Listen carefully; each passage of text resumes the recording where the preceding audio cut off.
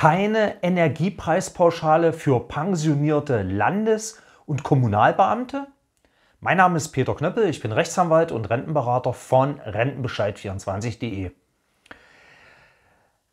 Auch hier wieder eine Frage eines besorgten Menschen, der pensionierter Landesbeamter im Land Sachsen-Anhalt ist. Und der hat uns, der hat mir mitgeteilt, wie sieht denn das jetzt hier eigentlich aus? Mit den 300 Euro Energiepreispauschale bekomme ich die nicht als Landesbeamter auch? Also, wenn wir uns den Beschluss zum dritten Entlastungspaket der Bundesregierung anschauen, dann steht da ganz klar mit einem Satz geschrieben, Versorgungsberechtigte des Bundes erhalten auch die 300 Euro Energiepreispauschale. Und zwar im Zusammenhang, dieser Satz äh, steht im Zusammenhang mit den Regelungen für die Energiepreispauschale für gesetzliche Rentner.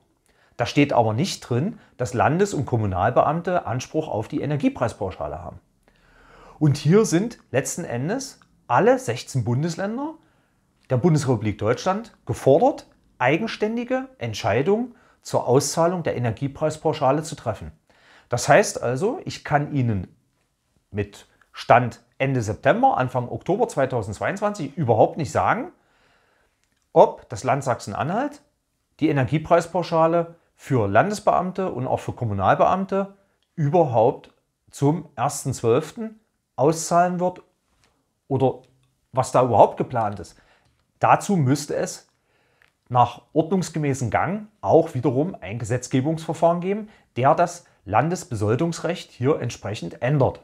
Und das ist aus meinem Kenntnisstand heraus bei den meisten Bundesländern, soweit wie ich informiert bin, noch gar nicht geschehen. Also eine ganz spannende Frage.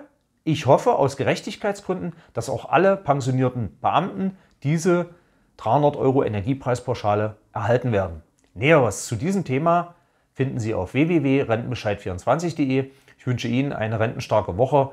Ihr Rechtsanwalt und Rentenberater Peter Knöppel.